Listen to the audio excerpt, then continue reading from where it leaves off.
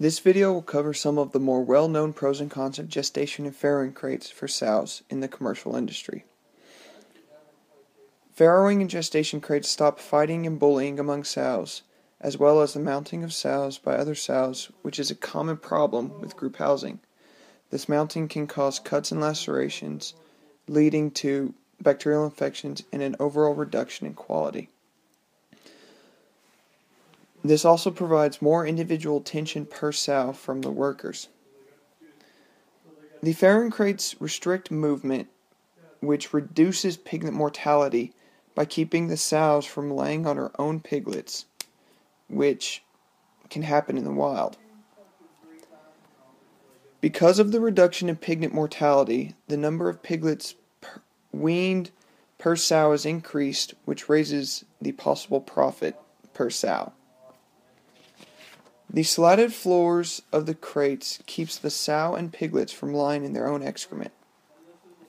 The treatment of sick and injured sows also becomes easier and safer for both the individual sows and the workers.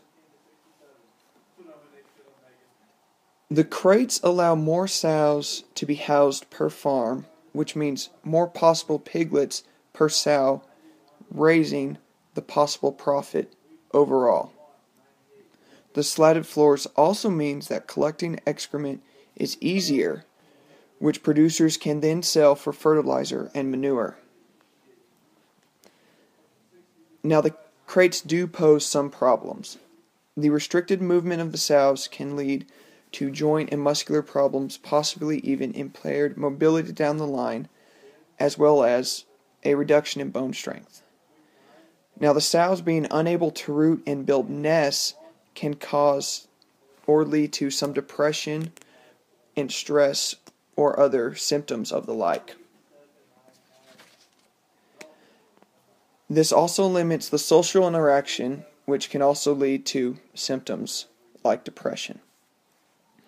Now, there are some health problems also. Being in crates and not moving for a long time can cause skin lesions or bed sores. They are more common in the stalls, but they are very easily treatable.